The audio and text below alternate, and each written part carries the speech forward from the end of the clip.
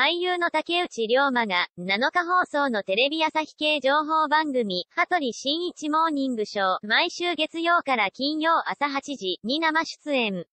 同局系木曜ドラマ、六本木クラス、毎週木曜夜9時から、初回は10分拡大スペシャルで主役を務める竹内が、ヘアスタイル事情を明かした。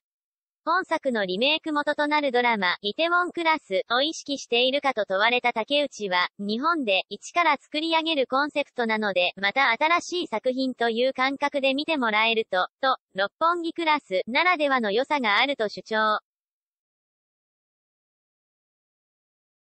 イテウォンクラスの主人公、パクセロイに習ったヘアスタイルに話が及ぶと、オリジナルとリメイクでのいい、塩梅はどこかをドラマのチームで考えたと話し、パクソジュンさんよりは短い、と、微妙なヘアスタイルの違いを明かした。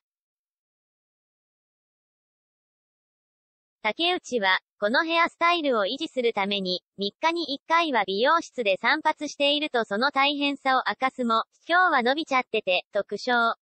電波ジャックのため朝が早く、放送前に切ることができなかったため、あんまり、カメラ、寄らないでください、とお願いし、スタジオの笑いを誘っていた。